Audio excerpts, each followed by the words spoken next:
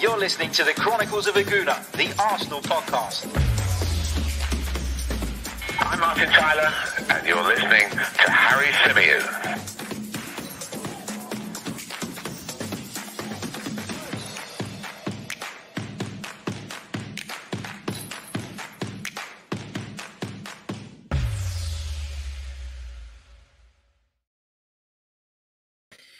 Hello and welcome back to the Chronicles of a Gooner, the Arsenal podcast, part of the 90 Min Football Network. As ever, I'm your host, Harry Symeou, and it's the social club. We've got plenty to be getting through on this edition. I'm going to be joined in a second by Dan DeLuca, regular guest on the social club. I know you guys love him despite his allegiances. He's always got great opinions, great views, and it's always uh, brilliant to hear from him. Uh, here he is, Dan. Uh, how you doing, mate? Yeah, yeah, very good, very good. How are you? Yeah, all good, man. All good. Good to have you back after a, a really, really busy weekend. And you say that I only bring you on after Spurs lose, where you had a really emphatic victory at the weekend. So uh, brought you on in a happy mood for once. So uh, maybe we'll uh, maybe we'll so, get some more fun. A rare, a rare smile, a rare smile for the listeners. I'm sure we'll, I'm sure we'll wipe that off, wipe that off my face by the end of the show. I'm sure. Yeah, I'm sure they will get onto him in the comments. No, I'm just kidding. Uh, on this week's edition of the Social Club, we're going to be talking about the race for the top four. Are Arsenal now in pole position? We're going to be discussing the Carabao Cup final, which was an absolute thriller.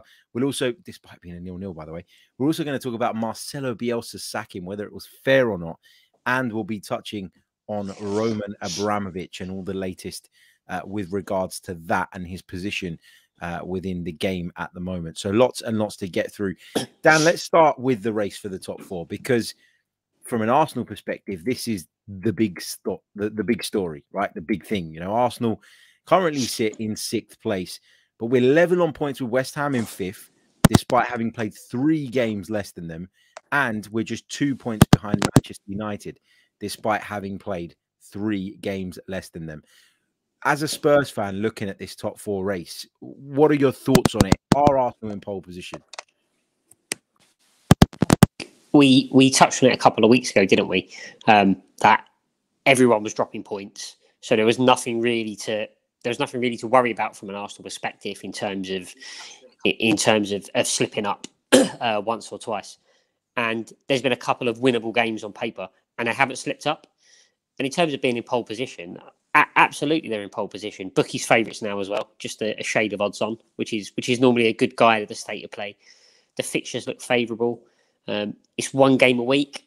Okay, some of the other clubs will get knocked out of competition soon, so so that might even up a little bit.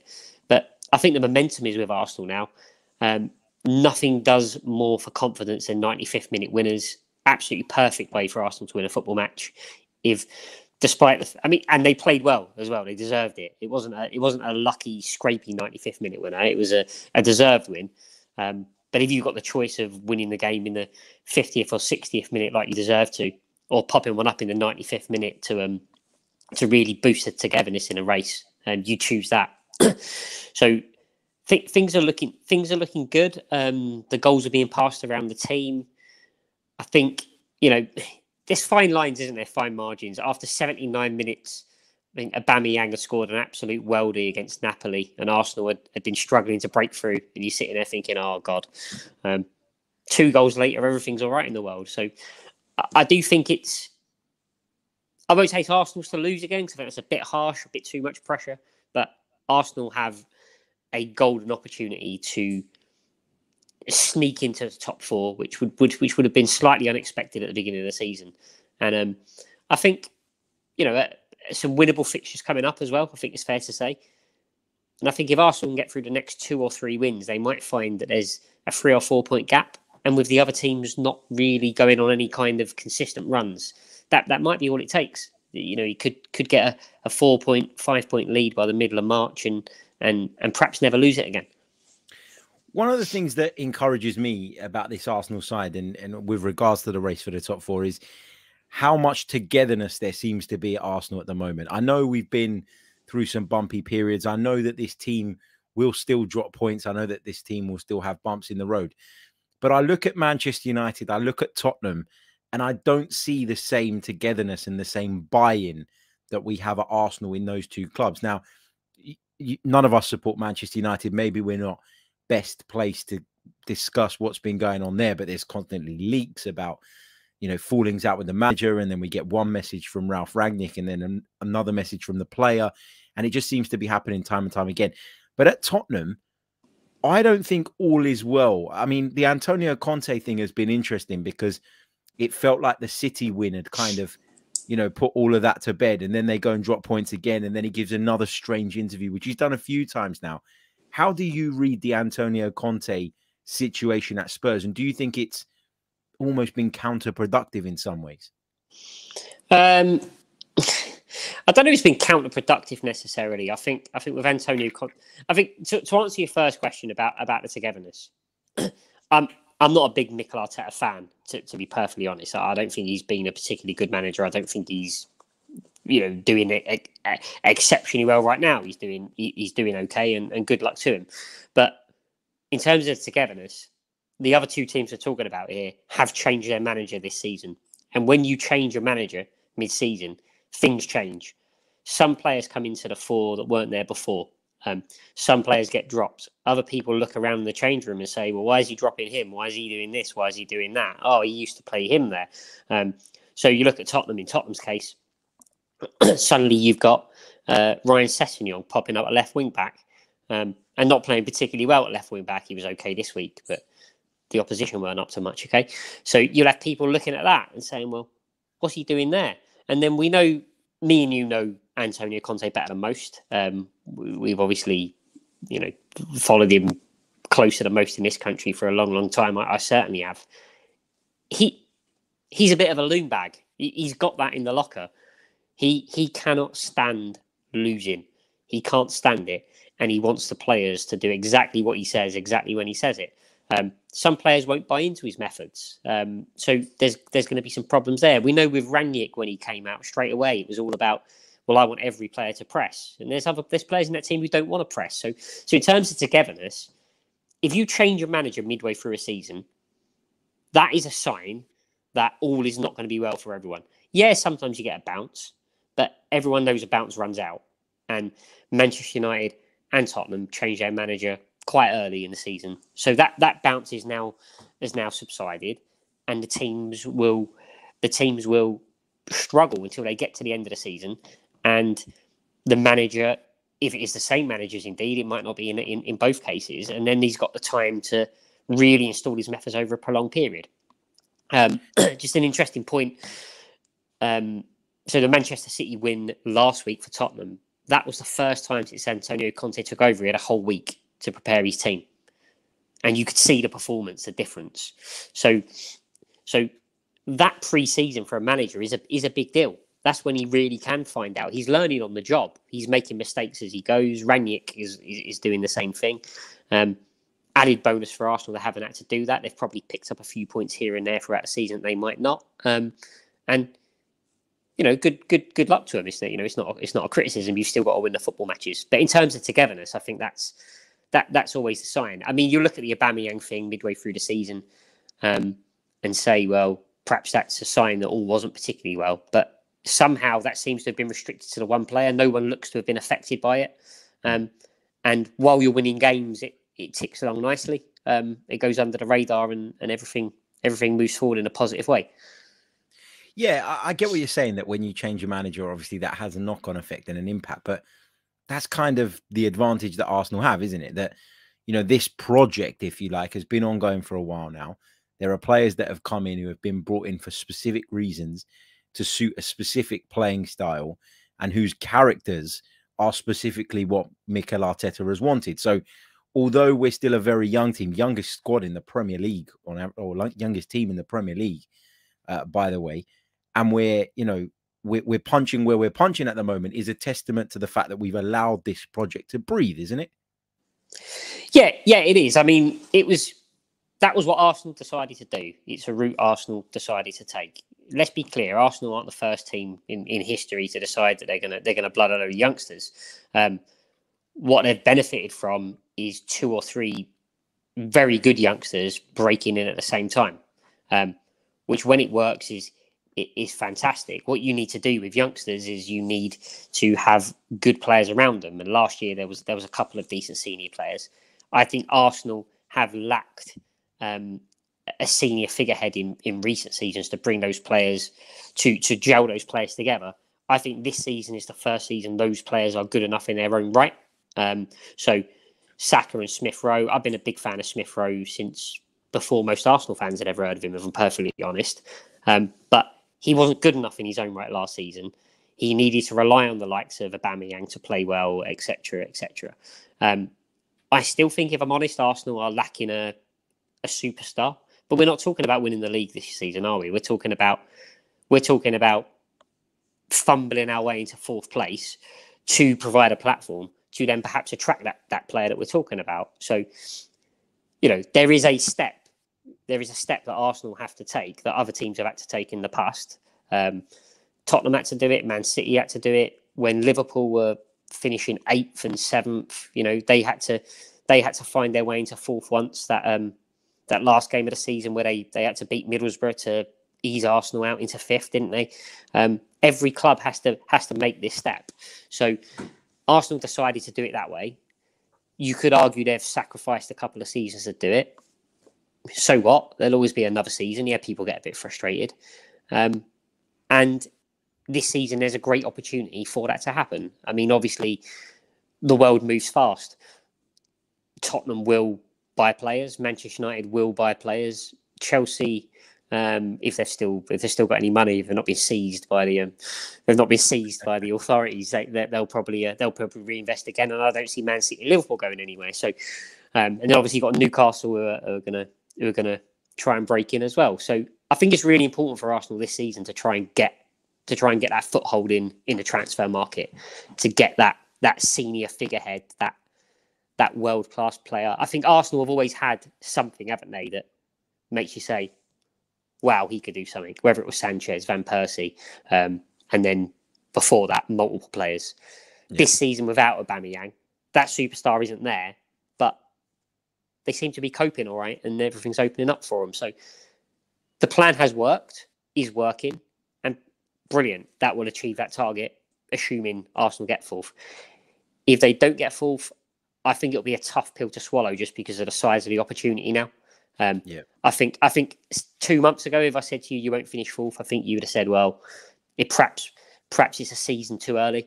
But I think if you miss out now, I think when the dust settles and you sit there over summer, I think you'll be you'll be quite you'll be quite frustrated.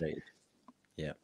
Just while we're live, if you're wondering why I keep glancing to my right, Napoli have just scored a 94th minute winner at Lazio. That is a huge result for Napoli. They were 1 0 up, got pegged back about five minutes from time, and they've just gone and scored a 94th minute winner at the Olimpico. That could be huge in the Serie A title race, of course. Okay, we've talked Arsenal. We've talked the race for the top four. We've got Dan's thoughts on uh, the project youth and everything that's going on at the club at this moment in time. Okay, but what I want to talk about next is that Carabao Cup final. Liverpool uh, lifted the Carabao Cup today after beating Chelsea in the final.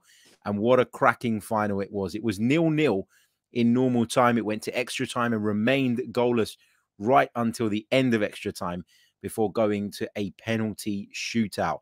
Kepa Arrizabalaga was brought on as a substitute just before the shootout to come on and be Chelsea's saviour. But he was the opposite. Didn't save a single penalty. And in the end, of course, he missed the decisive penalty. Um, Dan, let me bring you back in on this because the Carabao Cup final for a nil-nil, it was a pretty damn good game, wasn't it? Yeah, it was. It was really good. It was really good. It reminded me a lot of um, um, in the 2006 World Cup. Italy played Germany, and Italy won it with goals in the 119th and 120th minute in the end. But it was um, it was the most exciting nil-nil I've seen for for quite some time. Chances, disallowed goals, a little bit of controversy, a little bit of handbags, some really good football, and um, two teams who. Do you know what? This is going to sound really odd. I started watching the the first few minutes, and I thought to myself, I was a bit sad. We we, we both lost in semi-finals, didn't we? Um, in this Yeah. tournament, um, Spurs got battered by Chelsea. In fairness, and and Arsenal did a bit better, but but fell short. And I thought, do you know what? Do these two clubs really care?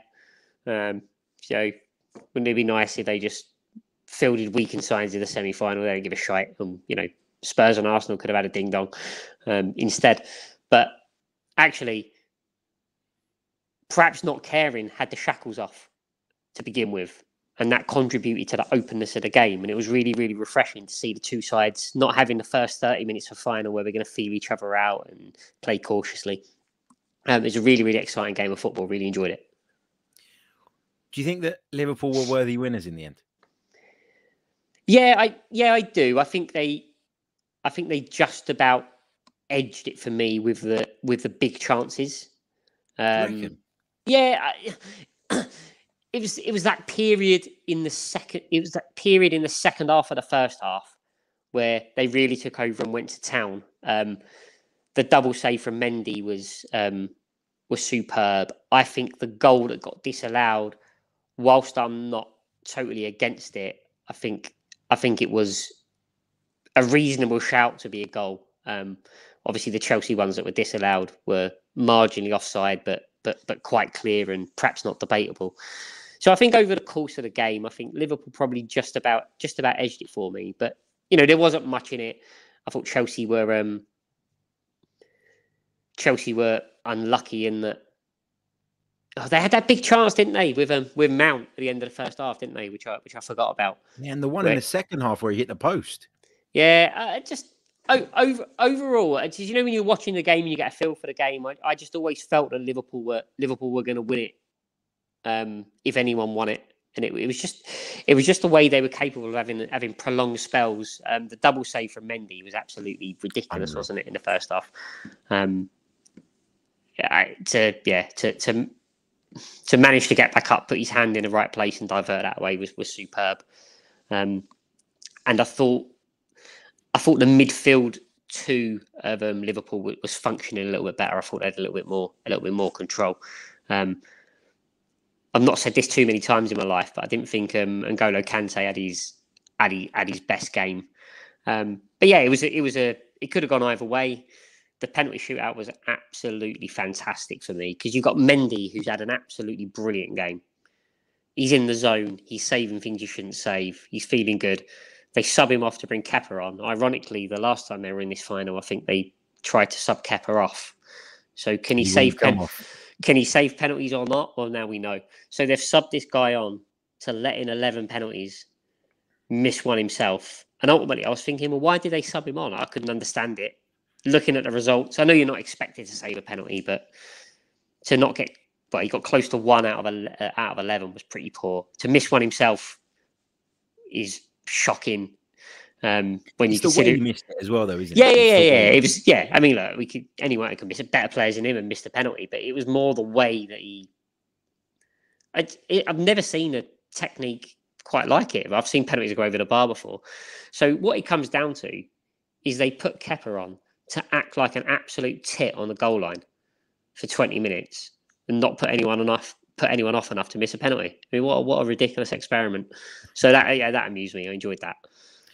I've got some I've got some sympathy for Thomas Tuchel though because statistically speaking, Kepa's penalty record is better than Mendy's. Now, I wouldn't have made the change myself, but to now turn around and say that Thomas Tuchel has cost Chelsea the final feels like a really harsh assessment. I am seeing that on social media. I, I don't think you can put this at Thomas Tuchel's door. It's just ironic that it went the way it did, but it's not a, a, a I, I don't think it's a valid criticism of the coach do you no but i don't he hasn't he hasn't cost he's not he's you know he hasn't cost him it he's it, it's just a it's just a weird and unnecessary thing to do it's if Kepa had saved three or four penalties, the decision's justified. The fact is he hasn't. So he's made a brave decision, and the consequence of bravery is you're going to get pelters if it goes wrong. So he, he's going to have to he's going to have to take that. I don't know how close the, the statistics are. Um, I just find it odd that they wanted to bring him off. I know it's a different manager, but they, they the club have wanted to bring him off last time. So they must have had a goalkeeper before statistically better at penalties. It was Willy Caballero at the time, wasn't it? um, Big Willie. Big Willie. This time they want to. Br- this time they want to bring him on, and I'd like to see those stats now. He's just shipped eleven. To be honest, those stats Yeah. must, yeah, they must have They've taken or a flip- beating. or flip flopped. But you know, top managers will say find the details. You've got all the stats available before. I see um, Spurs lost a, a, a League Cup final. I don't know what it was called that time. Whether it was a might have been the Carling Cup then to Man United on penalties, and you had Ben Foster um, watching the kicks, the kickers on an iPad as they were stepping up. So fine details, but it hasn't worked. And you know, if penalty shootouts are a lottery, then then is changing the keeper really going to make that much of a difference? I've always had a theory of penalties, right? And this is a ridiculous theory. It means nothing. Ignore me, but I'm going to say it anyway. I, I would I always want the tallest goalkeeper. It's as simple as that. I, I know penalty takers can have got it's obviously a skill to score a penalty, but especially the angle they show now on, on Sky to watch these penalties, and you see the goal. If I'm looking at that goal, I want to see the smallest keeper possible in there to make me Yeah. feel good and make the goal look big, and I'll stick the ball in it, and that's it. Also, though, psychologically speaking, if you're a Liverpool player and you've just watched Edouard Mendy pull off some ridiculous saves, surely you'd be much more confident stepping up to take a penalty against Kepa, given what you've just witnessed in front of you over the last 120 minutes. Yeah, I, I agree. I agree with that as well. And look, there are there are some goalkeepers that you know are renowned penalty stoppers. David Seaman was one. David Seaman was a good penalty stopper.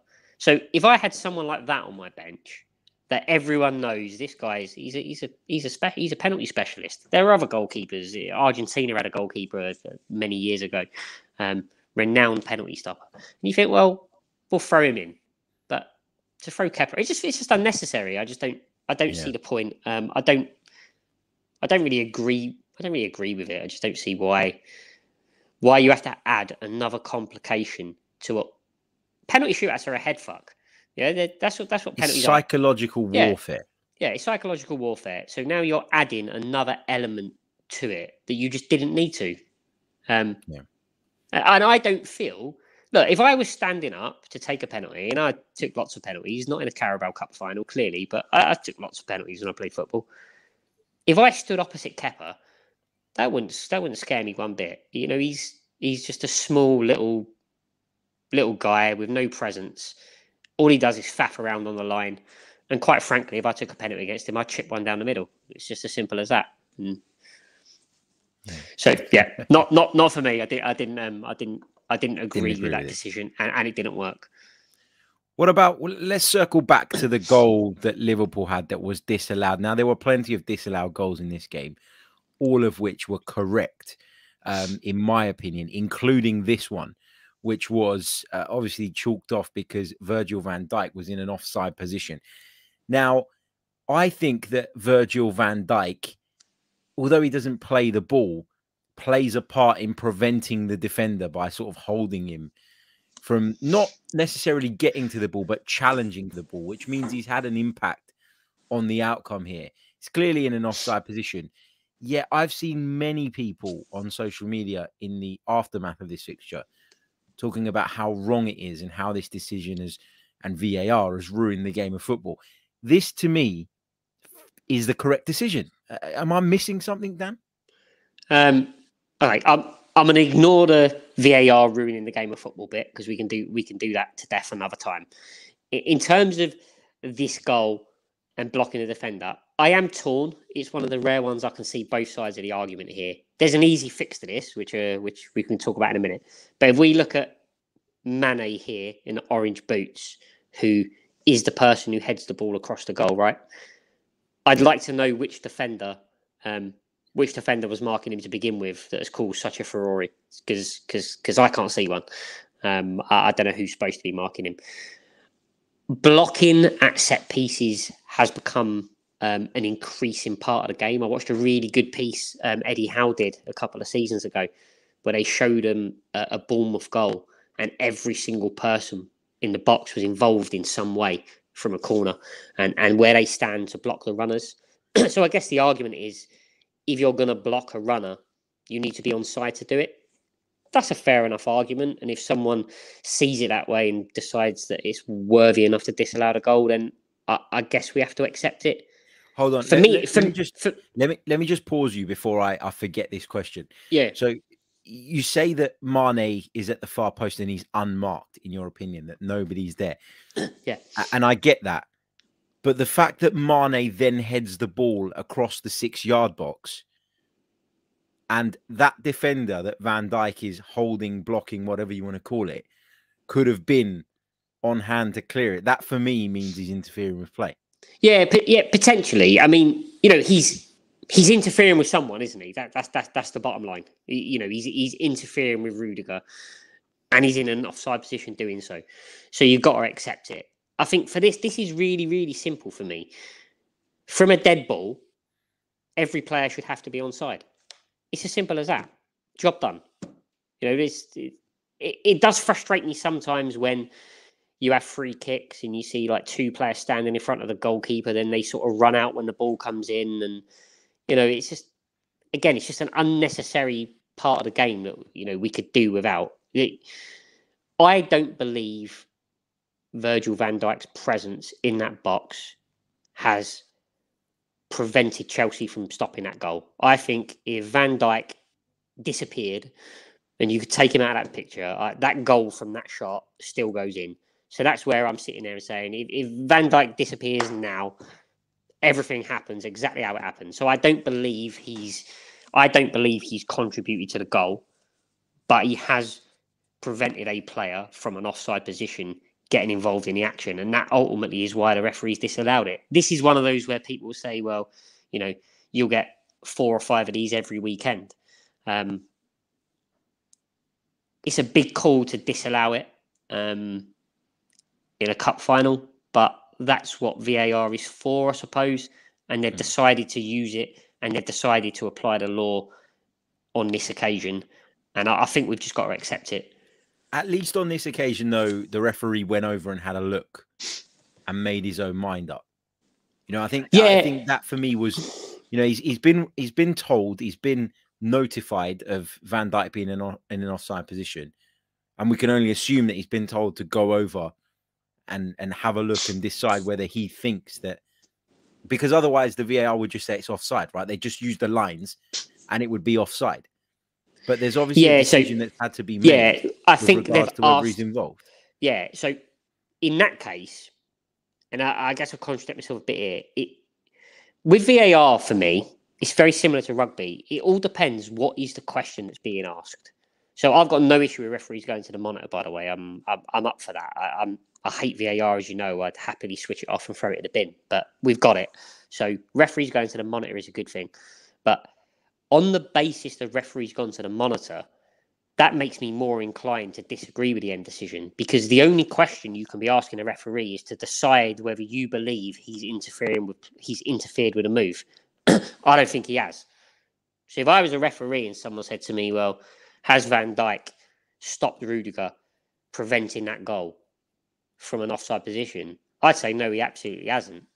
If you're asking me, is Van Dijk in an offside position? Then yes, you don't need to send me to the monitor for that though, because that's what I've got you up there for. And and the thing with the the whole going to the screen, I'm still yet to see in this country a referee be sent to a screen and then come back and say, "Thanks for sending me to the screen, but I'm all right." Every time they go to the screen, the decision is it's inevitable. Changed. Um, yeah, so I, I'm still I'm still waiting for that dynamic to develop where a referee. I'm not saying it has to be this one, but there has. I, I'd like to for me to be convinced that the referee himself is making those decisions himself and confident enough to do so. I'm always going to be a bit dubious about it being sent to the screen bit because at the minute it's just like you're just adding an extra 60 seconds to my afternoon, and then I've got to then I've got to watch 22 penalties. I, I, I thought the game was going to be finished at quarter to six, like and half seven. I'm still, uh, you know, I'm still watching it. It's just a, it's just an extra. At a minute, it just feels like a, a referee walking to the screen just to be too scared to make his own decision anyway. Change his mind. Yeah. Yeah. No, it makes sense. Makes sense. I, I personally see going back to that bit just finally on this. I do think that the referees looked at that and thinks that although it's not certain that Van Dijk's actions have have you know helped that goal, I think there is a case that he has, and I think that's enough for the referee to decide that this was, uh, you know, a goal that needed to be chalked off. And uh, all I'm saying is, I think, you know, I believe that it was the right decision. I can see both sides, but I don't think this is clear cut enough the other way for people to be calling this a disgrace and an outrage, and for people to be, you know, as they always do every time a decision comes up that they don't like, calling for VAR to be switched off. That's my view uh, on this particular incident. No, Okay, I, I agree. I agree. Like you know, I hate VAR, but this is a good one for VAR to exist for. This is Yeah. this is an ideal one.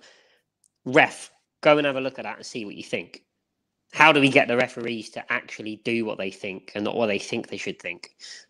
That's a, that's the problem we've got in this country. But for that scenario there, that's a good one where you'd like to say, I, I want to have, I want to have, I will benefit from thirty seconds looking at that. At- Yeah. No, good stuff. Um, right, okay. Uh, just a quick one before we continue. If you are listening to the podcast via the audio platforms, we're going to take a short pause for a message from our sponsors. And of course, to let you guys know, we have teamed up uh, with footballprizes.com and they've got a fantastic prize on offer right now. You want to get involved in this. If you click on the link in the description, it will take you over to the page, Football Prizes' website. You need to buy yourself a ticket. There are 99 tickets available, and there'll be a prize draw to see who is going to win a signed and framed Arsenal shirt by the king himself, Thierry Henry. Head over to the link in the description, Football Prizes. Now, this is running until Thursday, and we'll remind you a couple more times during the week about how you can get involved in this. But the Chronicles of a Gooner is delighted to say that we've partnered up with Football Prizes uh, for the next month or so. So do get involved, do check it out. Who wouldn't want this hanging on their wall? I tell you what, I might enter in this, although they probably won't let me win. They might call it a fix, but you guys can win it. Uh, and I'd love to see a picture of it on you guys' wall. So get involved. Football prizes to win a signed and framed Thierry Henry Arsenal shirt. Enter now for just £4.95. Visit the link in the description. Okay, some of the other big news from this weekend Leeds have sacked Marcelo Bielsa. The club have been struggling of late. It's been a really difficult second season for Leeds United. There's no doubt about that. Second season syndrome is a thing. Um, so I'm not surprised to see them in this position, but it's been bad in recent weeks, Dan. Do you think the sacking of Marcelo Bielsa, given Leeds' current position, 16th in the table, just two points above the drop zone, do you think it was warranted? I think it's it's probably a little bit harsh in the sense that the last three games they've had a good housing, but the opponents have been of reasonable of reasonable um, standard, haven't they? You go back a little bit further, you see a 3 0 defeat to Everton. You go back a little bit further, you see, you know, draws at home with the likes of Burnley. You go back a little bit further, they're losing 7 0 to Man City. Okay, that can happen. Um, I think, given what he's done for the club, I I think he could have been given one more game.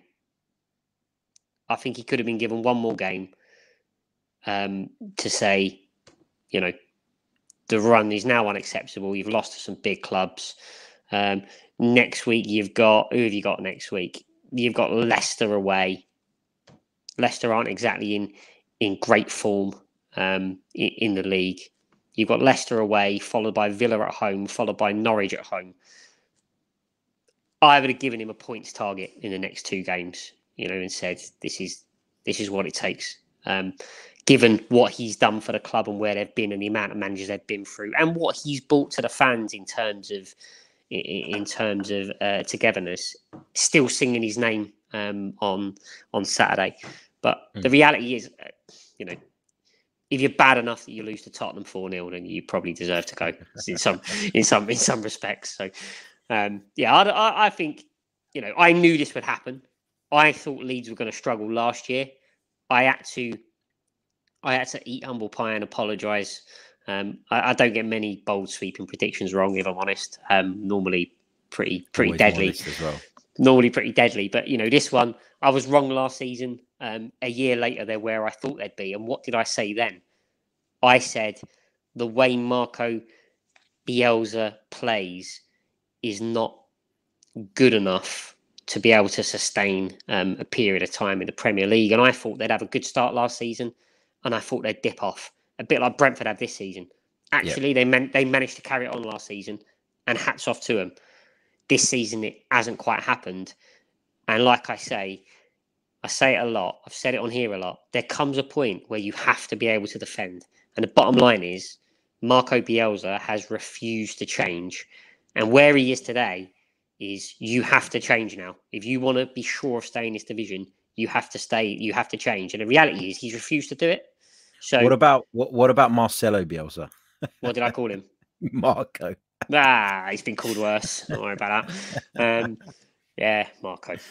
It's been a long Yeah, that- day. It's been a long day and a long week. Yeah, but, um, I'll forgive you, but I couldn't I couldn't pass up the opportunity couldn't let it go. after you were Fair enough. after you were blowing your own trumpet about your predictions, I thought I had to bring you back down to earth.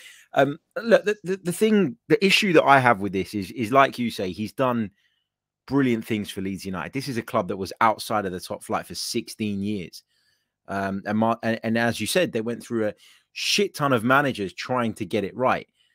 And along comes Marcelo Bielsa with a philosophy, with a style, with uh, you know a, a very clear plan. He comes in, he implements his style right away. They obviously narrowly missed out on promotion in his first season. He completely flips the identity of the team, gets them up into the Premier League. As you said, it enjoyed a wonderful first season, comes into this season and has had numerous problems that I think largely are based around injuries. Now, this is why I'm I'm so sympathetic towards Bielsa to have Liam Cooper, your number one centre back, your captain, to have Calvin Phillips, who is key to that side in the centre of midfield, and then to have Patrick Bamford, who scored a fair amount of goals in the Premier League last season, all missing for long periods of time. That has undoubtedly contributed to Leeds' demise. And I agree with you, Dan, that they, you know, they don't defend well enough. But I, you know, last season they they always had goals in them, and they still do have goals in them this time around. I mean, if you look at goals scored, they've still managed more than anyone in the league up to 14th place. You know, they've they've scored more goals this season than Brighton and Hove Albion. They've scored more goals this season than Wolverhampton Wanderers, who sit in eighth. So goals haven't ever been an issue for a Marcelo Bielsa side, but defensively, it's not been up to standard. How much of of what's gone on can we put on those injuries? Because I think there's a, a fair chunk of it that we can put at that. I think I think there is there is obviously a, a bit, isn't there? Um, particularly, I mean, Bamford had a great season last season. Would he have that, had that season that type of season again? Probably not. But to lose No, but him, even if he contributed lose five or six goals, yeah. yeah, yeah, to lose him completely. So if you look at the game yesterday, I think I wrote to you. Yeah, I did write to you um, after the game, and I said, um, "This sounds really, really weird, but four 0 was harsh on both sides." Leeds had chances yesterday. Yeah, You know, they had a chance in the second minute, which should go in, one 0 up. Different game. Um, they had a chance to get back in the game. They hit the post. They had a a chance. Well, Larice tried his best to get sent off. That could have been that could have been three one and down to ten for twenty minutes. They had the which that was an open goal that was missed. They hit the post with a free kick. You know there was there was some fine margin stuff in there as well. Then back to the same problem at the other end. Spurs could have scored twelve. So if you're playing that you attack, we attack, you attack, we attack style of football, that's fantastic, brilliant.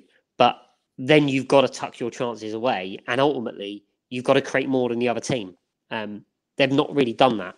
So for Marco Bielsa to carry on doing that and carry on doing that, hoping in some way that it's just going to be all right, and this week we'll win five four instead of losing five four. I just felt a couple of weeks ago, um, after the defeat, after the defeat to Everton, where they lost 3 0, which is an absolutely appalling result. You look where Everton are, we're talking about Leeds. Everton are in dire, dire straits. After that defeat, with the three big games coming up, um, that you're very unlikely to win playing in that way anyway. That was the time for me for a mature manager of, of Um, I'm going to call him Marco again because I want to. Uh, You've Marcelo, done it about three times since I pulled you up on it anyway. don't care. That's it. It's in my head now. That's it. It's, it's, it's, it's stuck in there. So big Marco. We'll just you know. rename. We'll just rename him, shall we?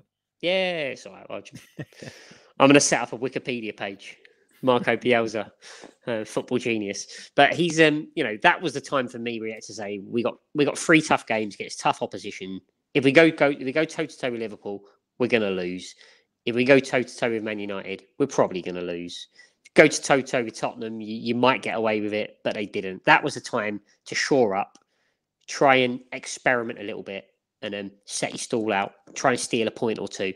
Um, but you know, he, he was stubborn, true to his true to his values. That's fantastic. But if you was backing a manager to keep you up now, you'd want a manager who was capable of adapting, wouldn't you? And he's he he, he, he hasn't done it. So, so the talk is that Jesse Marsch is going to come in, United States uh, born coach who's going to take over. He was at uh, RB Leipzig in the past. Um, just having a look at his profile now, 48 years old. Uh, the teams he's managed, United, he was an assistant at the United States national team, Montreal Impact, New York Red Bulls, Red Bull Salzburg, and RB Leipzig there are certain coaches in the Premier League, and we talk a lot about this kind of managerial merry-go-round and how the same people keep getting the jobs. One of the examples I'm going to use is Roy Hodgson. Okay, you know that Roy Hodgson is going to bring certain things to your team. You knew that when he was hired by Watford, he would tighten them up defensively overall. Now, there have been a few games, even under Roy Hodgson, where they've conceded goals, but you knew that they were going to tighten up because that's what Roy Hodgson does. And so, in doing that, you know, if you're Watford, you look at the situation, you're conceding a shit ton of goals, you go and bring someone in who you know will fix that problem at the very least or, or fix it to a certain point. Roy Hodgson's come in, they've got, kept a couple of clean sheets, they got a win, they went and got a point at Old Trafford at the weekend. Do, do you look at Jesse Marsch as a name and think that he's going to come in and be the savior? Because if I were a Leeds fan, I'd be thinking this: you've got you've got a manager in Marcelo Bielsa who's been there for a number of years now and plays a very specific style of football. I need someone who is going to now come in and be able to immediately change that mentality and change that mindset within this group. And I'm not saying Jesse Marsch is a bad manager because I don't know an awful lot about him. I've got to be honest. But it doesn't feel to me, anyway, in terms of my gut feel, like an appointment that instantly guarantees you'll pick up more points than you would have under Marcelo Bielsa. No, so so I kind of I agree I agree with you to an extent. So the first thing you think about a manager gets sacked, it's normally because they're struggling. They're struggling. The first thing you think about is well, Big Sam will turn up. He'll keep them up. If Big Sam turns up and keeps them up, that's brilliant.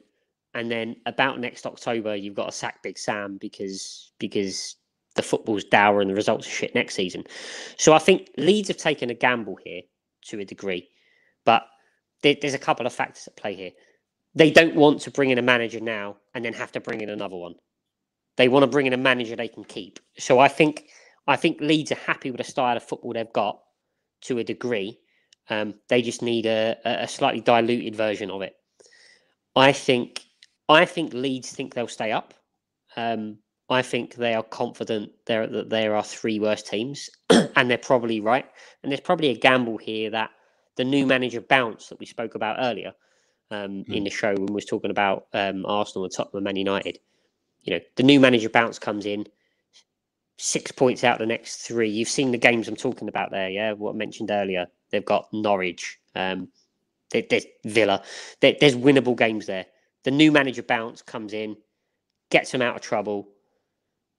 Nothing to worry about. Calm seas, and they've still got a manager who can work with the style of players they've got, and then use the summer to make a few tweaks.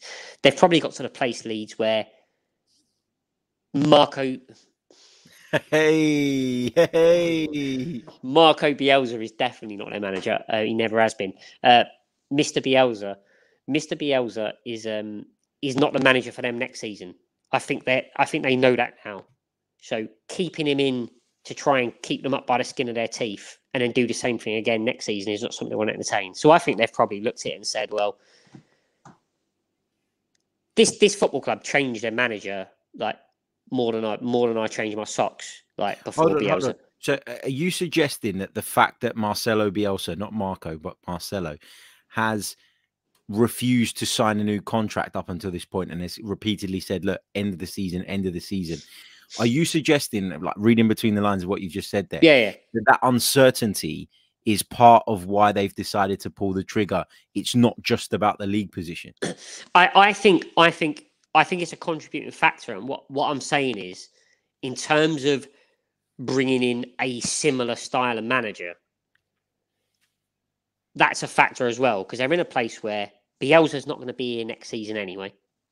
They might have had a short list of managers in their mind to try and take the club forward, playing in a similar way.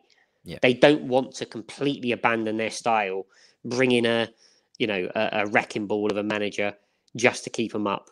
They're probably gambling they're going to be safe anyway, and then they can kick on next season using a similar style of football, but with a, a with a manager who's probably a little bit a little bit more rounded than um than than Marcelo Bielsa is. So I think that's absolutely a factor. And in terms of the appointment, what what's the point of bringing in a manager just to you know a manager you don't want? You know, it, it's a, it's a gamble. It could go horribly wrong, but the new manager bounce. The new manager bounce is going to get Leeds enough points, and they they are Leeds are going to stay up, and then next season they'll be in a reasonable place. And then if Jesse Marsch can translate some of his style of play um, from RB Leipzig into the existing Leeds squad with a couple of additions, you know they won't be one of the favourites to go down next season before before a ball's kicked. Yeah, no, good stuff. Uh, good discussion, good debate as always. We've got one more subject to touch on, and then we're going to take a few of your listener questions. So start getting them in the chat box, and I will start collating them uh, as we discuss uh, this next topic. Because I was uh, I was sitting there yesterday, and and I did uh, some work, and and when I finished work, I was absolutely knackered, didn't want to talk, but felt that I needed to put out uh, just a short video, just a short uh, podcast. Um, well, no, it wasn't a podcast; it was just a video on the YouTube channel, uh, talking about the news that had broken with regards to Roman Abramovich. Now, Roman Abramovich put out a statement yesterday that he had given uh, control of the club over to the charitable trust, um, and that they were going to oversee the running of Chelsea Football Club. We understand this evening that they have yet to take control of the club. And now this is, of course, all linked to what is going on um, over in Ukraine at the moment, the invasion uh, of Russian troops and, and the fear of further sanctions, I guess, is what's pushed Roman Abramovich to do this. Dan, if you were a Chelsea fan, how would you be feeling about this? Because on the one hand, right, Chelsea fans have really enjoyed Roman Abramovich's ownership because he's pumped money in. He's elevated the level of the team to a level that we've never seen before. He's built them into one of Europe's big hitters from a club that were basically on their knees at that point. But there's always been this kind of undertone, hasn't there, that Roman Abramovich isn't squeaky clean and his ties with Vladimir Putin have always been quite well known. As a Chelsea fan, how would you be feeling right now? Because I think if I were a Chelsea fan, I'd be concerned about my club's future. Are Chelsea now big enough to sustain the level that they're at without Abramovich bankrolling it? Because I don't think they are, and I think this is going to knock them back a peg or two. I think there's there's a couple of factors at play, isn't there? So my feeling as a Chelsea fan, first and foremost, would be yeah, concern, concern. You know, let's be clear. Before Roman Abramovich, Chelsea were you know barely a top division football club, right? Let, let, let, let's have it right. They were they were bottom half, bouncing around, you know, going up and down divisions and and, and stuff and stuff like that. This is ten years before Abramovich. Yeah, they they started to turn a corner for five or six years before, um, and they were challenging around, you know, fourth and fifth place and and and starting to do well. And then Abramovich came in and he changed everything in terms of uh, in terms of the winning machine that they've been. So I'd be very very concerned about that in terms of the approach they've had. You know, their Chelsea's formula works. Whatever they do, it works. They buy big, Um, if players flop, they get new ones. If managers flop, they get new ones. They rotate the managers quite frequently. They very rarely go a season without without without winning silverware. So it works. If Abramovich goes, that formula changes. So I'd be very concerned because if the formula works, changing it is a risk to me. I'm not happy about it. The next thing I'd be concerned about is the the 1.5 billion pounds of Roman Abramovich's money that has been lent to Chelsea Football Club. What happens if and when Roman Abramovich calls that in? That is a massive concern because that changes a football club from being able to sustain itself um, based on what um, Abramovich has built. And let's be clear, they've built a huge reputation that has enabled them to attract players when they haven't been in Europe, attract managers who know they're not going to last very long. Um, they've got a really, really good academy, really, really good players out at, um, at Chelsea. They've got um, a system that enables them to breed multiple talented youngsters. You look at any good player in the Premier League that you've never heard of, and you say, "Oh, I'd like to sign him at Arsenal." Uh, oh, he's on loan from Chelsea. Fuck it.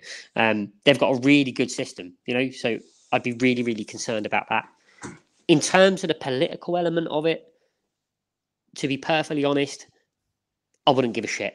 Um, you know, I'm I don't like what's going on in Ukraine at all. It, it leaves a really sour taste in my mouth. But um, I think it's easy for fans of other clubs to take the moral high ground and say how other fans should feel. Ultimately, when I go to watch my team play, I just want them to win.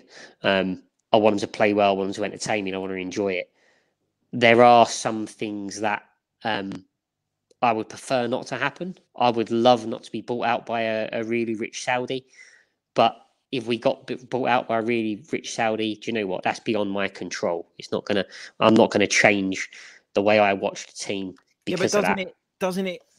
You, you say you wouldn't give a shit, but doesn't it like? I don't know. It's like it's like if you win a game of something, but you know you cheated. It, it takes the shine off it. Doesn't the fact that Roman Abramovich is who Roman Abramovich is and has been for all those years, doesn't that slightly take the? Sh- I know as a selfish football fan and as a selfish supporter of that club, you will go, well, it's not my responsibility as a football fan to be the world's moral compass. And I get that. But isn't there a part of you in the back of your head that would be like, well, the fact that we've done it this way, it kind of spoils it. Like, wouldn't you not take, like, you look at that Pochettino side that went to the Champions League final, right? Had that been because you had a corrupt Russian billionaire running things and you bought your way to it, surely that wouldn't have felt as good uh, as the way it happened, where Pochettino had built this side with limited resource and done it the right way. I can tell you firsthand that that sleeping on the floor at Madrid airport for 11 hours with pissed up Liverpool fans dancing around you didn't feel good.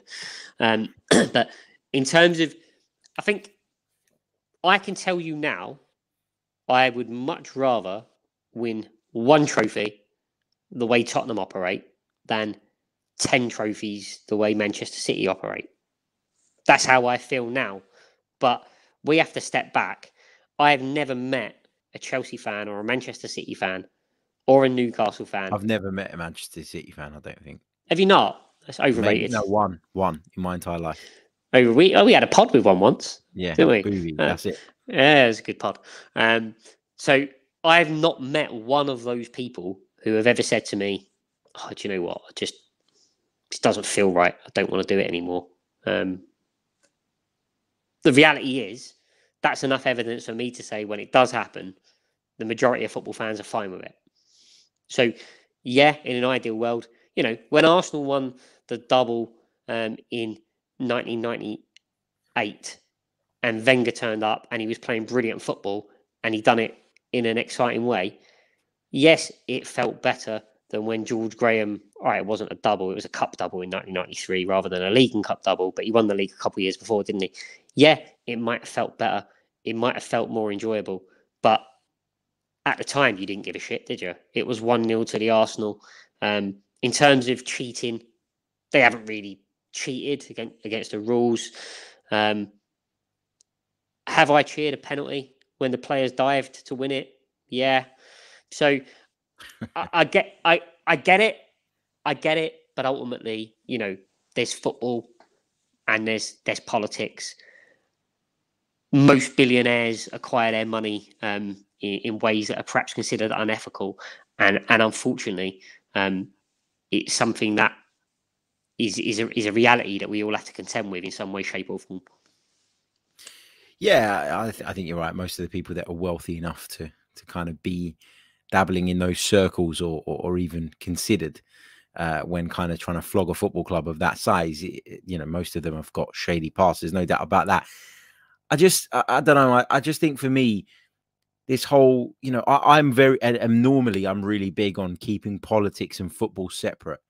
Like it's one of the reasons I don't follow uh, Cypriot football. I'm from a Greek Cypriot background, but you know, I've got a team that I say I like, but I don't follow it properly because it's built around politics, and politics are at the center of everything when it comes to the, their game, and and I hate that because you know I've got relatives who are of one political view, who if they ask me who I support in Cyprus and I tell them, they go, "Well, you can't like them because it's political." And actually, the reason I like the team I like is because they went to the Champions League and they gave a really good account of themselves and they done really well and put eyes on on Cypriot football. I don't give a shit about. No, Anorthosis. They they, they get to the quarterfinal. Yeah, they had a really yeah, good yeah. run. So uh, for me, that that's enough. I don't know about the political stuff. I don't care about the political stuff, and the the presence of politics in their game has put me off of their game.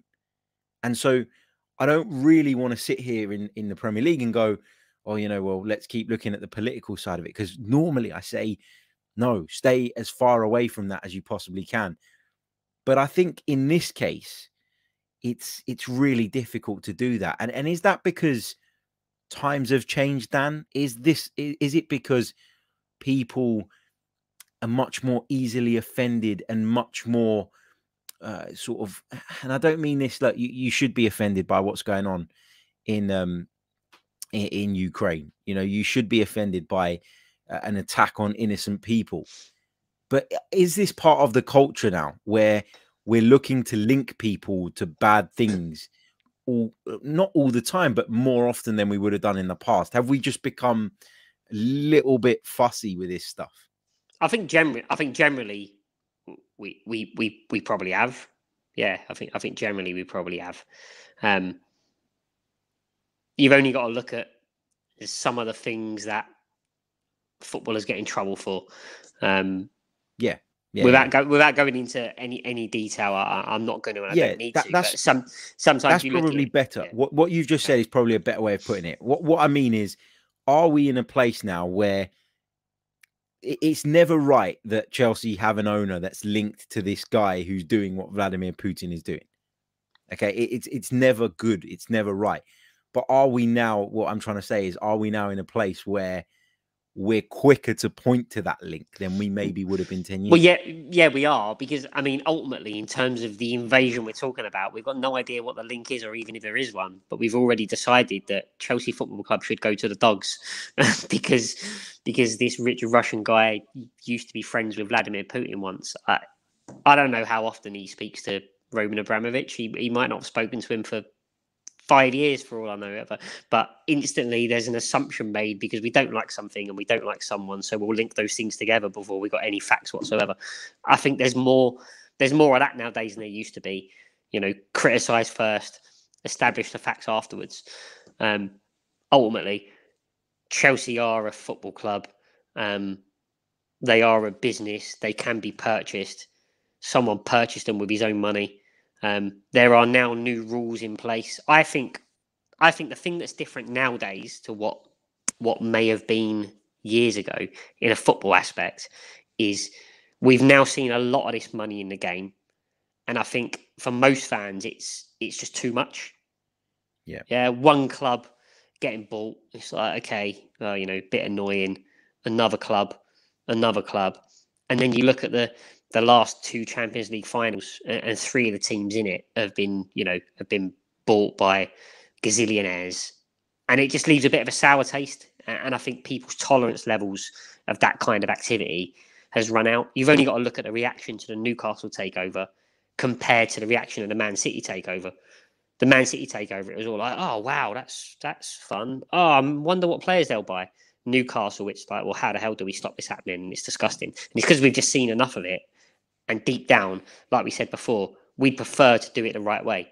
But you know, I don't like Chelsea fans. So I'm not going to stand here and defend many of them. But ultimately, you know, if their owner is friends with a president who decides to invade a country, it's not really their fault, is it? Yeah, I mean, Terence in the chat says this debate is so naive. Where do you think Abramovich's money came from? We're not saying we, have literally said that Abramovich's money has come from shady places. We we literally said that, and we said that a lot of the people in his position with that kind of wealth, not all of them, but a, a fair proportion of them, come from a place where they've it come, it, crossed it, lines. Terence, I mean, you probably know this, having written that, but it, it come mainly from oil that that was acquired by by Russians following the breakup of the Soviet Union. That that's where that's where his money came from. Yeah, and and and the point is here that we're not saying that uh, Abramovich is squeaky clean. What we're saying is is that can we say that you know Abramovich has been a supporter of Vladimir Putin? So has a lot of Russia. That's why he's in power. I know there's a lot of people that say that he rigs elections, and I'm sure he does. But there are supporters of Vladimir Putin. And we're not going to line up every supporter of Vladimir Putin and blame them for the invasion of Ukraine directly. The point is, we don't know enough about how close, I don't know enough about how close Abramovich is to categorically say that he's a part of this. And so we have to kick him out of Chelsea. If we didn't have a problem with it when he took over, and we haven't had a problem with it all this time, it's really, really difficult to now um, sort of flick that switch for me personally. But and I get that. It's, I'm coming from an uneducated position on this whole topic, but I just I, I'm always reluctant to mix political stuff with football, especially when I don't know enough about it. So it might sound naive, it might come across in that way, and it's not coming from a bad place. It's just I'm, you know, I'm struggling to understand exactly why we're in a place where you know people are talking about Abramovich being stripped of the club. If that's got to happen, do it. Get on with it. But all this kind of like, let me pass the control over to these guys and let me do this and let me do that. All I'm saying is, if I were a Chelsea fan, I'd be quite worried about what that means and what the future holds. Because, as I said right at the beginning of this discussion, if I were a Chelsea fan, I would be worried because although this club has you know, grown in terms of its size, grown in terms of its stature, and grown to the point where it is now a European heavyweight. Financially, can it stand on its own two feet without Roman Abramovich and function in the way it currently functions? I don't think it can. And I think that's why, if I were a Chelsea fan, I'd be very worried, very concerned. Nobody is saying for a second that what is going on in Ukraine is something that you should ignore. Um, you know, turn away from. I, I said it on the, the video I put out yesterday. I actually think the West and everybody else, not to get into this too much, should be putting boots on the ground, should be helping out. But all, know, all it... I thought, all I hmm. thought, um, I, I kind of hope we don't get involved in that. I've got to be honest. he seems a bit, he seems a bit angry. I, I was thinking um, yesterday. You can you imagine a situation like it wasn't that long ago when um, Andrei Shevchenko played for Chelsea. Mm. So Andrei Shevchenko, in essence, is owned by Roman Abramovich. That's that's how it works, and he he, he plays football for him. I, I, just wondered how that sort of dynamic would have played out. What would have happened in that scenario? Um, Andrei Shevchenko was on um, well, there was an article and he was referenced on BBC News, and then it just it's a really awkward situation, and I can't imagine Roman Abramovich is particularly comfortable about about the situation he's in. I'm not saying I'm not saying he doesn't deserve it. He may well do. I'm not. I don't know how involved he is. You know, that Roman Abramovich hasn't been sitting in the Kremlin planning an invasion. Yeah, I'm, I'm, I'm pretty sure about that fact. Um, mm. But he's he's acutely aware of of the implications of this to him and Chelsea, and that's why he has taken a proactive step to try and protect the interests of the football club. So to go back to the question, and I know we've tangented off to political and humanitarian issues.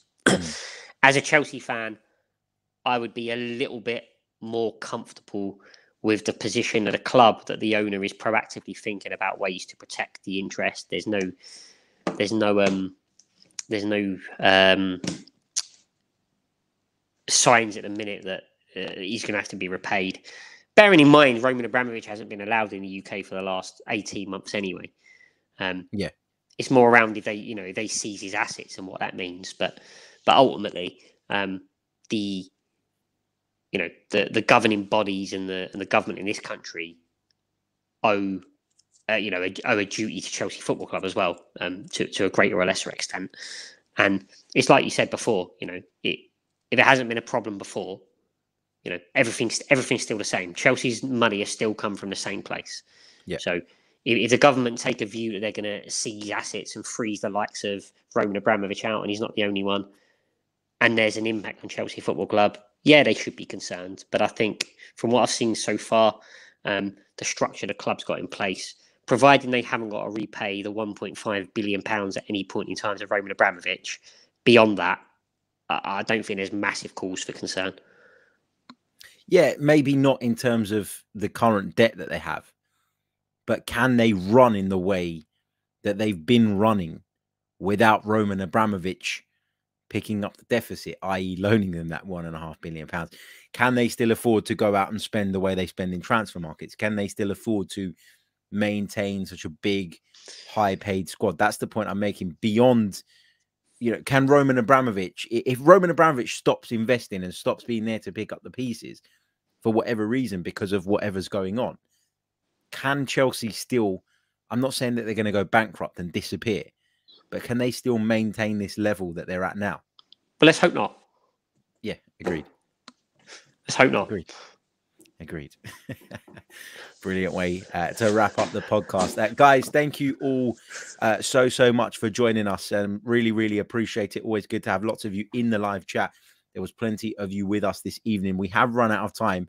Uh, so we will pick up some of those questions that you did drop in uh, on the next edition of the Social Club. We're still not on 100 likes just yet. So let's try and get there as soon as we possibly can. Uh, hit that like button, subscribe to the channel if you're new as we continue our push towards 20,000 subscribers here on YouTube. We're not a million miles away and we're hoping we can get there by the end of the season. So keep subscribing, keep hitting the like button, keep leaving your comments below. Um, yeah, I mean, a perfect way to wrap up would be to say, you know, you know, we've we we talked about the Abramovich thing and we kind of drifting into the whole uh, Ukraine crisis at the moment and the invasion of, of Ukraine. And we're trying to establish, you know, how closely linked Roman Abramovich is to Vladimir Putin, what that means, what the implications could be or should be off the back of that.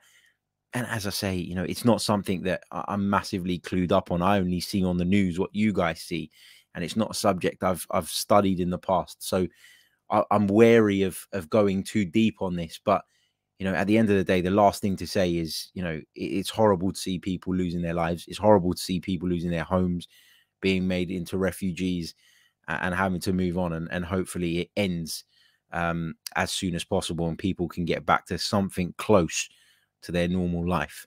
Um, and, that's where we'll leave it. But Dan, thank you so much for joining me, mate. As always, um, have you ventured back into the social media sphere just yet, or not? yet? Not not just yet. yet. No, still still maintaining a, a safe a safe distance.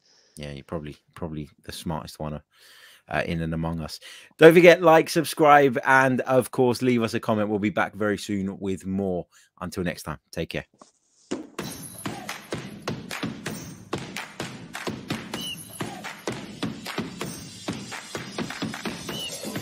Listening to the Chronicles of a Gooner, the Arsenal podcast. I'm Martin Tyler, and you're listening to Harry Symeou.